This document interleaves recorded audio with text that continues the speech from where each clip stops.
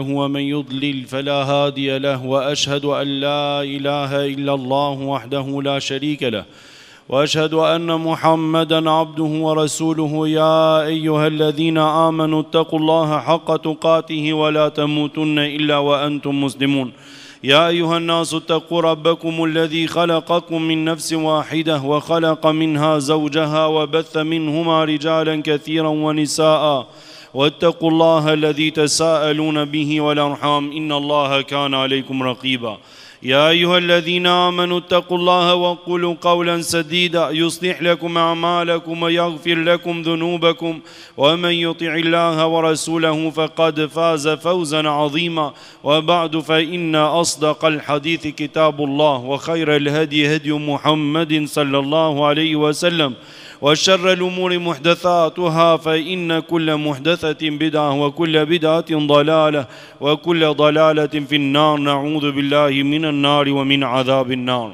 E falenderojmë Allahun me falenderimet më të sinqerta siç meriton ai të falenderohet O Zot i ynë ty të lutemi fali shpirtrave tanë devotshmërinë O Zot i ynë ty të lutemi na udhëzo për tek më e mira më e drejta Ti je udhëzuesi ti je orientuesi na fal dhe na mëshiro ti je më i madhi falës ti je ai që i përgjigjesh lutjeve. Dëshmojmë se i vetmi që me drejtë meriton adhurimin është vetëm Allahu xhelleshanuhu nuk ka zot tjetër që të meritojë adhurimin përveç tij, sikurse dëshmojmë se i dashuri ynë Muhammedi alejhi salatu ue selam ishte robi dhe i dërguari i Allahut xhelleshanuhu, e dërgoi Zoti mëshirë për mbarë njerëzinë o Zot dërgoji atij salavatet edhe selamet tona si më i miri profet, atij. familjes tij dërgoja o Zot shokëve tij dhe o Zot fali edhe mëshiroji dhe bashkoji të gjithë besimtarët që ndjekin rrugën e tyre me përpikmëri dhe me sinqeritet deri në ditën e fundit në xhenetet e begata siç tregohet tek hadithi i Imam Buhariut dhe Muslimit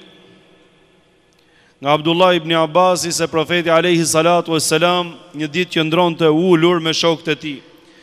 siç ishte duke biseduar dhe duke i treguar shokëve tij një bisedë, vjen një arabi një person nga zonat e thella të shkretirës edhe ulet aty në midis të mexhlisit pranë Profetit alejhi salatu ue selam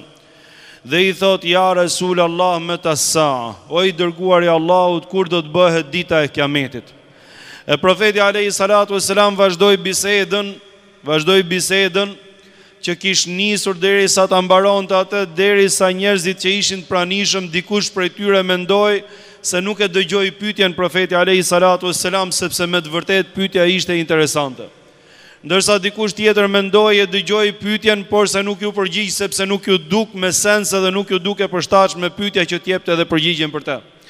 Derisa e përfundoi mendimin edhe bisedën e tij Profeti alejhi salatu ue selam pastaj tha kush ishte ai i cili pyeti? Dhe i tha unë o i dërguari i Allahut tha idha duyyi'at il amanatu fantadhir is sa'a Profeti alejhi salatu ue selam i tha në momentin që do të humbi emaneti Në momentin që do të humbi emaneti që nuk do të ketë më njerëz mbi sipërfaqen e tokës që të mbajnë amanet, që të mbajnë besë, atëherë prite ditën e gjykimit. Sepse dita e gjykimit është shumë pranë ose ka ardhur pra, kjo është një nga shenjat e shkatërrimit të njerëzimit edhe afrimit ditës së fundit që do të shkatërrohen gjithë njerëzit dhe do të shkojnë tek Allahu xhelleshanuhu pastaj. I tha o i dërguar i Allahut çfarë do të thotë me u humb emaneti? I thotë profeti alejhi salatu e selam kur ta marri përsipër ose kur t'i ngarkohet atij që nuk e meriton diçka. Kur ta marri përsipër dikush që nuk është i aftë për diçka dhe nuk është i meritueshëm për të, nuk ka meritë, Atëherë thotë kjo është humbja e emanetit. Xhemat i nderuar, Allahu xhelleshanuhu në radhë të parë neve në fenë tonë të pastër dhe të bukur na kërkoi që neve mos të adhurojmë askënd tjetër përveç Allahut xhelleshanuhu i vetmi i cili meriton adhurimin. Çdo lloj gjëje tjetër që quhet adhurim qoftë kurban, qoftë namaz, qoftë sexhde, qoftë frikë, qoftë respekt, qoftë duke pritur të mirat materiale të kësaj bote nga dikush tjetër përveç Allahut xhelleshanuhu, pra të gjitha ato të cilat quhen adhurim që hyjnë tek adhurimi, nuk duhet të bëhen në asnjë mënyrë vetëm se për atë që është i meritueshëm për adhurimin, për Allahun xhelle xhelaluhu. Porse nuk është vetëm kjo feja jonë, sepse i madhi Zot zbriti në librin e tij rregulla, zbriti ligje, zbriti sjellje dhe morale me të cilat neve duhet të sillemi dhe me të cilat neve duhet të jetojmë dhe t'i vejmë në praktikë dhe në zbatim, dhe të cilat tregojnë besimin tonë dhe përkushtimin ndaj Allahut xhelleshanuhu. Prandaj Zoti të gjitha këto obligime dhe të gjitha këto ndalesa i lidhi me Ditën e Gjykimit edhe tha, Ai i cili I bindet Allahut xhelleshanuhu do të hyjë në xhenet. Ai i cili nuk i bindet Allahut xhelleshanuhu nuk do të hyjë në xhenet ose do të marri dënimin për mosbindjen e tij. Pra të gjithë obligimet, ligjet dhe rregullat fetare ne do të pyetemi dhe jemi përgjegjës për to përpara Allahut xhelleshanuhu. Prandaj do të shofësh se Allahu xhelleshanuhu kur i lavdroi besimtarët të cilët janë të shpëtuar në këtë jetë dhe në jetën tjetër, tha në Kuranin famlartë, Kad eflehal mu'minun, kanë shpëtuar dhe kanë fituar besimtarët, po kush janë ato besimtarë që kanë fituar dhe kanë shpëtuar, Elledhine hum fi salatihim khashi'un, janë ata të cilët në namazin e tyre mundohen që të jenë të ndrojtur pra dhe të përkushtuar. Walladhina hum anil lagwi mu'ridun, nuk është vetëm çështja e faljes dhe çështja e adhurimit ndaj Allahut xhelleshanuhu, porse është edhe ata të cilët largohen nga fjalët e kota edhe nga shpifjet, nga fjalët pa vlerë, nga fjalët e këqija dhe të pista. Po janë edhe ata të cilët ruajnë nderin e tyre, po janë edhe ata të cilët, ata të cilët pra e japin zekatin, ndihmojnë të varfrin, janë edhe ata të cilët ruajnë amanetin edhe besën e tyre, thotë Allahu xhelleshanuhu. Këto do të jenë ata që trashëgojnë xhenetet e larta të Firdeusit, pra ai që i bën këto të gjitha, I madhi Allahu Xheleshanu nuk na tha neve vetëm çështja është adhuro Allahun Xheleshanu dhe vetëm kaq. Po duhet korrektesë me njerëzit, po duhet që të jesh me amanet edhe të sillesh me përgjegjësi me njerëzit, po duhet që t'i përmbahesh rregullave dhe hakut të njerëzve, edhe duhet që të jesh i dobishëm midis njerëzve. Kjo është feja që neve na mësoi Allahu Xheleshanu. Inna Allahe je'murukum en tu'eddul emanati ila ehliha, wa idha hakemtum bejnen nasi en tahkumu bil adl. Allahu xhelle shanu e thotë qartazi në Kuranin famëlartë vërtet i madhi Zot Allahu xhelle shanu krijuesi i qiejve dhe i tokës ju urdhëron juve që emanetet që merrni përsipër t'i çoni tek të zotët e tyre e kur gjykoni midis njerëzve gjykoni me drejtësi mos anoni nga ai që ju anon juve shpirti dhe zemra po mbani drejtësi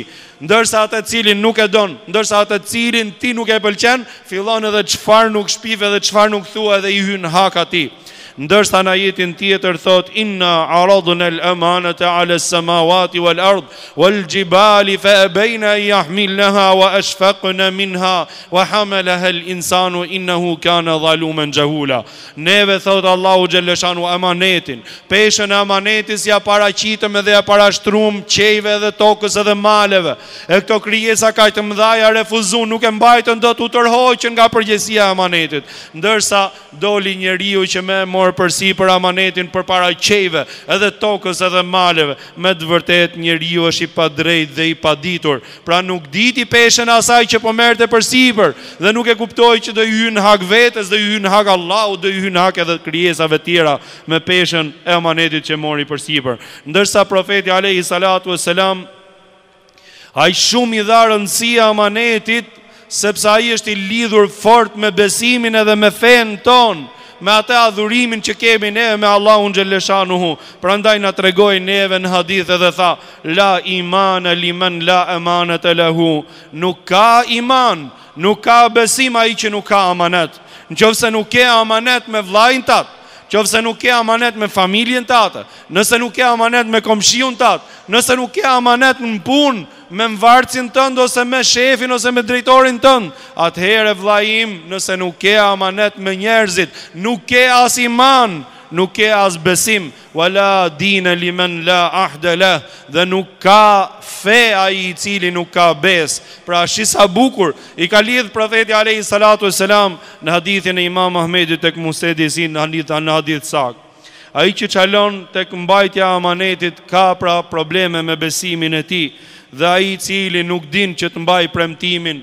ai e ka fenë të dobët edhe e ka jo të plotë. Gjithashtu ka thënë Profeti alejhi salatu ue selam, katër gjëra po të po t'i ketë njeriu, katër gjëra po t'i ketë njeriu në jetën e tij pra, Atëherë mos bëhet fare pishman, edhe mos të, mos të, mos të trishtohet aspak për gjithçka që do t'i shpëtojë nga dynjaja, nëse nuk e arrin një pasuri, nëse nuk e arrin një objektiv, nëse nuk e arrin një mirësi siç i duket atij në sytë e tij, pra, nëse i ka këto të katërta, ka gjithçka dhe mos të bëhet pra fare, fare Mos trishtohet edhe mos mërzitet fare për gjithçka tjetër që nuk mund ta ketë. Atëherë e para fare, thotë Profeti alejhi salatu ue selam, Hifdhu emane,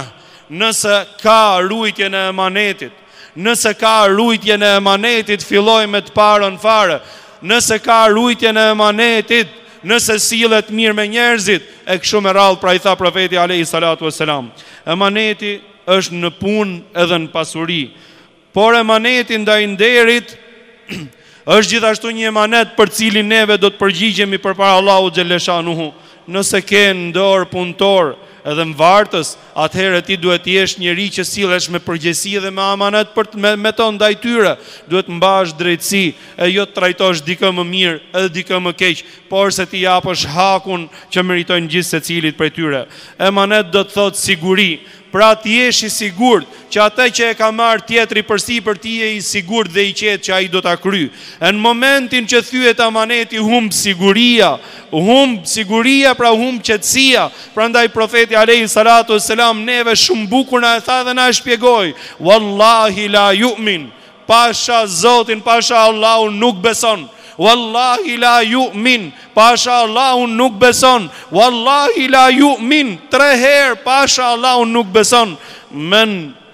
Ai i cili komshiu i tij nuk është i qetë nga mundimi i tij nga plerat ose nga çdo lloj mundimi pra nëse ti komshiun nuk e lën rehat nga papastërtitë Nëse ti komshiun tënd, fqinjin tënd që e ke komshi aty afër, nuk e lën rehat në nderin e tij te familja e tij, nëse ti komshiun nuk e lën rehat te pasuria e tij, nëse ti komshiun nuk e lën rehat se përfol edhe shpif për te lloj lloj gjonash, nëse ti komshiun nuk e lën rehat se do me i zaptu pronën e do me i përvetsu të drejtën e tij, atëhere dije se profeti alejhi salatu vesselam thotë, wallahi la ju'min, vallahi nuk beson. Vallahi nuk beson atëhere për ça i thu vetes musliman dhe besimtar. Një ditë hyn profeti paqja e Zotit qoftë me te në treg. Hyn në treg në pazar ku njerëzit shisnin. Dhe gjen dikë që shiste drith. E fut dorën tek drithi se i pëlqeu ishte i bukur e fut dorën për ta pa domethënë për ta prek me dorën e tij dhe e futi dorën thellë. Pa dashje ose papritur, pa që poshtë drithi nuk ishte cilësia që ishte sipër. Ndërkohë që poshtë e kishte kapë uji dhe ishte i lagësht dhe kishte fillu me u prish, kishte fillu me u kalb, atëherë Profeti alejhi salatu ves selam u çudit dhe i tha, Ç'është kjo? Çfarë po bën kshu o vlla im o rob i Allahut si ate të mirën edhe të bukrën e ke vënë sipër kurse i rresht më poshtë e ke bo mallin e keq pra e ke mçef mallin e keq i thotë ja resul Allah o i dërguar i Allahut isha i pavëmendshëm thotë dhe nuk e kisha pra menjen pa dashje thotë ma kapi shiu thotë drithin. Pa dashje ma kapi shiu drithin dhe nuk e mbulova dot. Atëherë Profeti alejhi salatu ves selam i tha, Pse nuk e ke lënë të lagtën përsipër? Se e kuptoi që ka diçka se nëse laget, laget e sipërmja përpara. Ky person pra ose ka përmys grunin, ose atë drithin që ishte pra, ose e ka përmys grunin, edhe të thatën e ka lënë sipër të lagtën poshtë me bo hile ndaj atyre që do të blejnë pra ndaj klientëve ose ndaj muslimanëve, Ose ka diçka tjetër, pra ka marrë mall nga dikush edhe e ka shtu me e mulu. Atëherë i tha, vlla im, tha, pse nuk e ke lënë ashtu siç ishte, ndërkohë që njerëzit do vinin ta shihnin që është i lagur dhe të blenin atë për të cilën paguajnë, jo e pagu për të thatë edhe e merr mallin të dobët edhe e merr mallin pastaj me probleme të kalbur. Atëherë i thotë, Men ghashshena fe lejse minna, Men ghashana fe leyse minna, ai i cili na mashtron neve, ai i cili na tradhton neve, ai i cili na bën dëm neve, ai nuk është prej nesh. Ai i cili hyn midis besimtarëve me dëmtu, ai i cili hyn midis xhematit edhe midis muslimanëve me bo me bo keq edhe me bo dëmtim midis tyre, ai nuk është prej nesh, thotë Profeti alejhi salatu ue selam. Dhe ky është një hadith shumë i madh që duhet ta dinë të gjithë besimtarët edhe besimtaret dhe ta kenë përpara syve gjatë gjithë jetës tyre, qoftë në biznesin e tyre, qoftë në jetën edhe në marrëdhëniet që kanë me vëllezërit edhe me motrat muslimane, sepse kjo është feja jonë dhe ky është, kjo është rruga e Profetit alejhi salatu ue selam. Sa e sa vetë e përziejnë qumështin me ujë, sa e sa vetë e përziejnë vajin e ullirit që me fitu i çik më shumë, sa e sa vetë e përziejnë mjaltin edhe kur shkon me e ble ti thotë, vallai thotë e ke mjalt super, e ke për së mari, E ke tullë, e ke alamet malli, nuk ka të shajtme, është kshu, është ashtu. Edhe duke të zonë be edhe Allahun, edhe duke rrejt, mirë që e ka bo pisllëkun, mirë që e ka bo përzirjen, edhe është duke të shit diçka, të cilën pra ti po ta dish realitetin e saj ose e merr më lirë ose nuk e merr fare. Ai përveç që po gënjen, Ai është edhe duke gënjy edhe në emër të Allahut xheleshanu po përdor Allahun xheleshanu duke zon be që me shit pisllikun e tij pra edhe me shit atë atë gabimin e tij Zoti na fal kjo është vepër shumë e dobët edhe nuk ka lidhje me besimtarët musliman Omeri radiallahu anhu Zoti qoftë i kënaqur me te kur ishte prisi i besimtarëve një natë del nëpër rrugët e Medinës që të shofi, mbase ka një nevojë që ta ndihmojë, mbase ka dikush një hall që t'ia zgjidhi hallin, mbase ka dikush një problem që t'i japi atij zgjidhje për problemin e tij, mbase ka diçka që ai vetë nuk e ka parë dhe nuk ka qenë i vëmendshëm dhe ka përgjegjësi përpara Allahut xheleshanuhu për ato që kanë përgjegjësi pra për njerëzit edhe për popullin e ta ndreqi atë gjë përpara se të jetë vonë dali para Zotit xheleshanuhu atëherë duke dalë natën Duke kalu pranë një banese dëgjon një dialog nga brënda murit t'shpisë.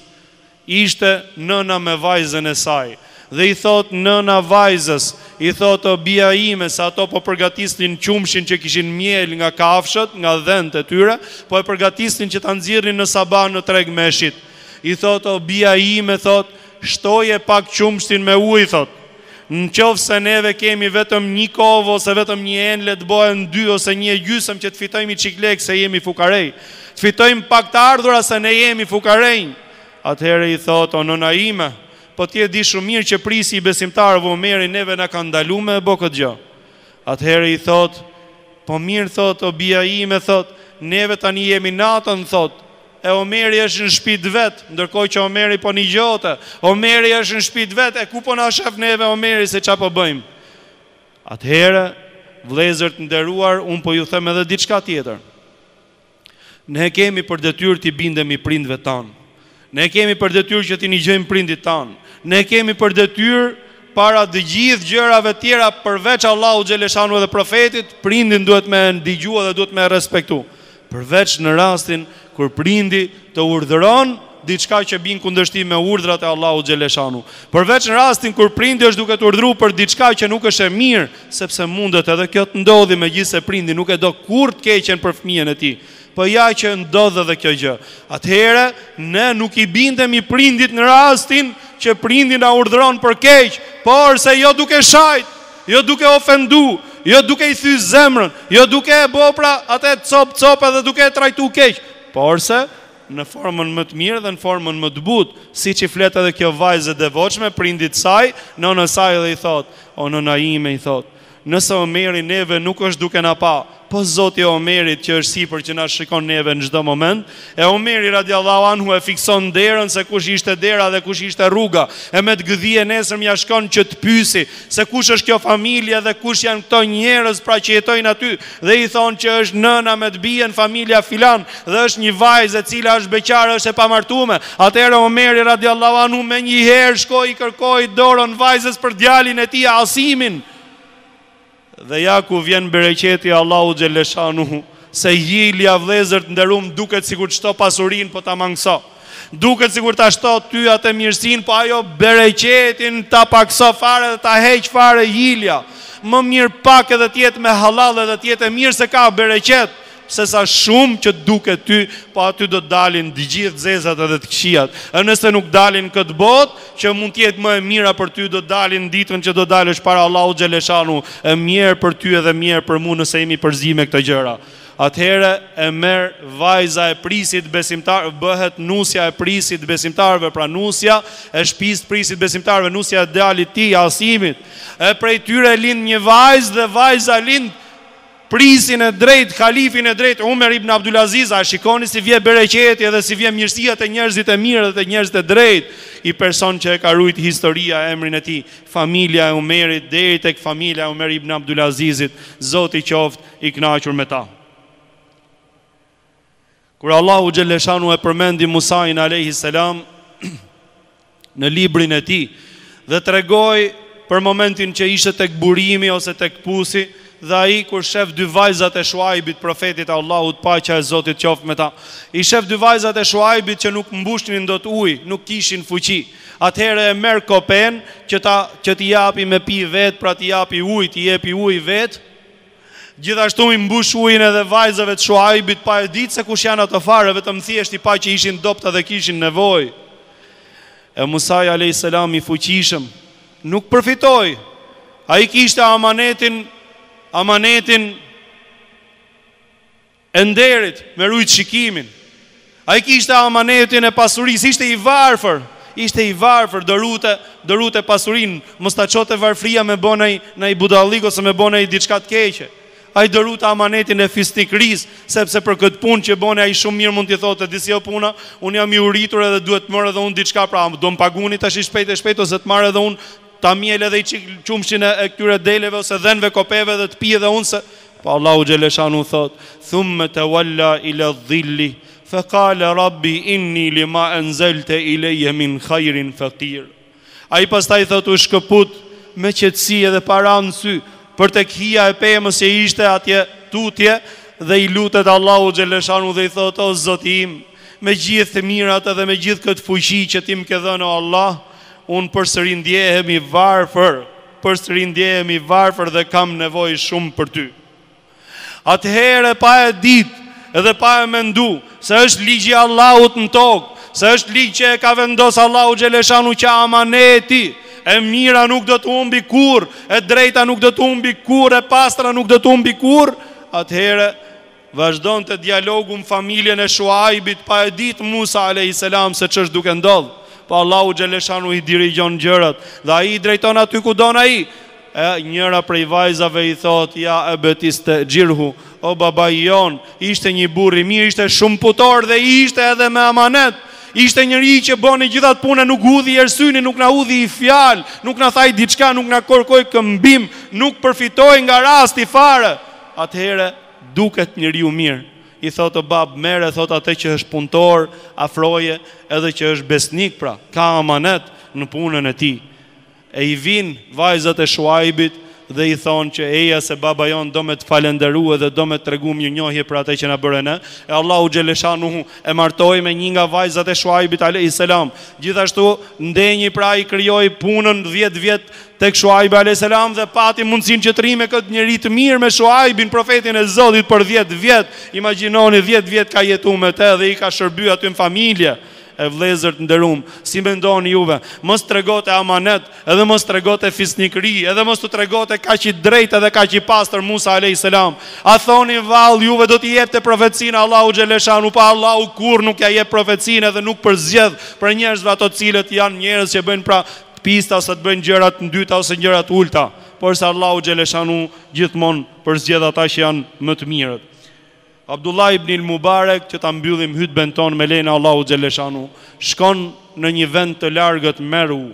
Në Meru shkon që të kërkojë pra dijen, dhe duke kërku dijen tek dijetarët e atij vendi një ditë i thyhet lapsi dhe për shpejtësi i merr lapsin borxh këtij shokut ose këtij vllait që kishte aty pranë, mbase nuk e njifte. Ishte mexhlis i dijes dhe ia merr ose e njihte shumë pak, nuk është se kishte konfidencë. Atëherë ia merr lapsin edhe që të shkruajë. Kur mbaron mësimi hutohet edhe në kalojnë ditët, domethënë kalojnë koha, vetëm kur bëhet gati që të hiki për në shpi, mbledh plaçkat e tij edhe të gjithë ato sendet e tij që të niset. Në mes të rrugës duke kontrollu tek sendet e tij tek gjërat e tij, shef që kishte diçka. Kishte një amanet pa e çu në vend. Ça ishte? Ishte naj gjë e madhe? A ishte naj kuti me flori, naj, naj, naj sunduk me pare të madhe? Jo, mër vllai im, jo. Ishte ai lapsi që i kishte marrë vllai i tij pa dashje, pra, pa dashje e kishte fut te sendet e tij dhe e kishte përvetësu. Pa dashje, pa e kuptu. Atëherë kthehet nga mesi rrugës me shku prapë, me i kthy lapsin të zotit tij edhe me i kërku falje njiqind herë me i kërku hallallik, derisa pastaj vazhdon udhëtimin e tij. Vëllezër të nderum, këto janë njerëzit edhe këto janë paraardhësit tanë të mirë, këto janë ata të cilët i kanë mësu botës amanetin edhe i kanë mësu botës përjetësinë edhe i kanë mësu botës korrektësinë! E neve me shembullin e tyre duhet të ecim se përndryshe pastaj ne do jemi trashëgimtarët ose pasardhësit më të këqij për paraardhësit më të mirë. Zoti na faltë dhe Zoti na rujtë. Amin.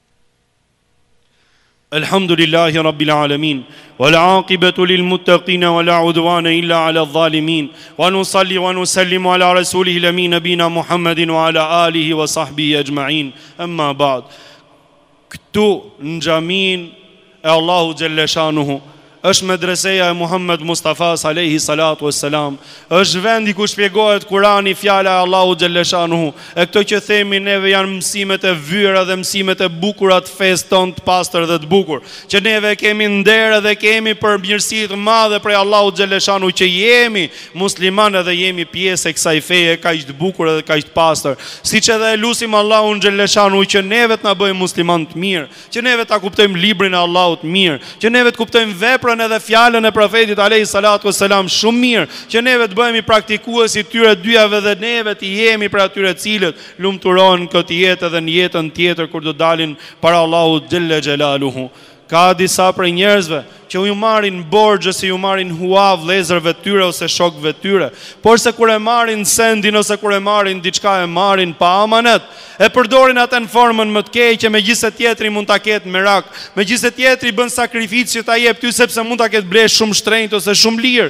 ai e ka ble me lekët e djersës së ballit, ai e ka diçka të tijën, është pasuria edhe prona e tij. E ti e merr dhe e përdor pa amanet dhe vjen dita me ja kthy ose nuk ja kthen fare dhe nuk je korrekt në kthimin e amanetit ose kur ja kthen ja kthen me dëmtime ose ja kthen cop cop edhe ja kthen pra atë të konsumume e pa pikën e turpit edhe pa pikën e problemit pa pikën e përgjegjësisë as nuk do me ditë fare vllai im mund të ndodhi që gjëja e tjetrit të prishet ose të dëmtohet po duhet që t'i përgjigjesh tjetrit Duhet t'i kërkosh hallallikun edhe faljen me shpirt edhe me zemër, jo sa me kalu, jo sa me kalu radhën, sepse kjo është prej besimit edhe kjo është prej fesë tonë. Pa llogarit pastaj njerëz cilët i marrin amanetet edhe nuk i kryjnë amanetet edhe nuk i çojnë ato në vend. Kjo është feja jonë islame dhe ky është mësimi që na jep neve Profeti alejhi salatu ves selam. Sot unë këtu qëndroj përpara jush jo si më i miri prej jush, porse me peshën e përgjegjësisë të drejtuesit të xhamisë të imamit sepse imami është orientues, imami është këshillues, imami është mësues, imami ose hoxha është ai i cili i jep mësimet e Kuranit edhe mësimet e hadithit të Profetit alejhi salatu ue selam. A ka mundësi neve sot, në qoftë se kemi probleme me kryerjen e amanetit a ka mundësi neve sot t'i japim besën Allahut xheleshanu që mundohemi Do mundohemi ta ruajmë amanetin. Do mundohemi të jemi korrekt me njerëzit tjerë. Do mundohemi që të bëhemi shembull i mirë edhe aty ku jetojmë në komunitetin ku jemi. Do mundohemi që të jemi të saktë dhe të rregullt siç duhet me qenë një musliman, amanet me Allahun, amanet me veten tënde, amanet me familjen, amanet me të gjithë njerëzit e tjerë, sepse kjo është feja islame edhe këtu neve do të dalim pastaj faqebardhë përpara Allahut xhelle xhelaluhu. Po ta kuptoshim neve fenë tonë ashtu siç duhet vallahi do na nderonte neve Allahu xheleshanuhu e pa dyshim që edhe njerëzit do kuptonin prej ne mirësinë e fesë edhe bukurinë e fesë e do ta shifshe këtë xhami siç është mush plot deri përjashtë ke rruga nuk do kishte ven as rruga pastaj edhe të gjithë xhamitë e tjera me lejen e Allahu xheleshanuhu Se kjo është feja jonë që është shumë e bukur, porse neve kemi dobësitë dhe akoma nuk kemi arrit që të përfitojmë prej bukurisë dhe prej mirësisë së fesë tonë me lejen e Allahut xhelleshanuhu. Profeti alejhi salatu ue selam thotë, Ai i cili i detyrohet vllait tij ose dikujt nji padrejtësi, i hyn hak, I ka hy në hak qoftë me të folme, i ka prek nderin, ose e ka shajt, i ka prek personalitetin. Ai i cili i ka hy në hak vllait tij me pasuri se i ka shkel pasurinë. Ai i cili ka hy në hak vllait tij qoftë me çdo lloj gjoje pra, që i detyrohet, le t'i kërkojë hallallikun edhe le t'i kërkojë falje në këtë botë, sa nuk është vonë derisa pa dalë para Allahut xheleshanu, se në atë ditë nuk ka më hallallik, Më fal, hajt se të fala, hajt se më ke fal. Nuk ka më kështu. Në ditë gjithsecili do të marri hakun e tij prej shokut tij ose prej vëllait tij, porse do ia marri me veprat e mira e do ta lejë derisa dali fishek dhe dali pa gjë fare pra në ditën që do të duhen më së tepërmi veprat e mira. O Zoti ynë, Ty të lutemi, Jepi nefseve tona dhe zemrave tona dhe shpirtrave tona devotshmërinë. O Zoti ynë, Ty të lutemi, na oriento neve tek punët më të mira, tek fjalët më të mira, sepse Ti je ai i cili orienton për to. O Zoti ynë, na largo neve nga fjalët e këqija, edhe nga veprat e këqija, sepse Ti je ai i cili largon prej tyre. O Allah, na fal neve, fali prindit tanë, Fali të gjithë besimtarët edhe besimtaret. O Zoti ynë ty të lutemi ata të cilët janë dobët prej muslimanëve forcoji. O Zoti ynë ty të lutemi ata të cilët kanë nevojë prej muslimanëve o Zot ndihmoji. O Zoti ynë ty të lutemi lehtësoja gjendjen muslimanëve në të gjithë botën o Allah kudo që janë aty ku kanë nevojë për ndihmë ndihmoji ti je shikuesi ti je dëgjuesi ti je ai i cili pra je më i drejti hiqe padrejtësinë edhe veje në vend drejtësinë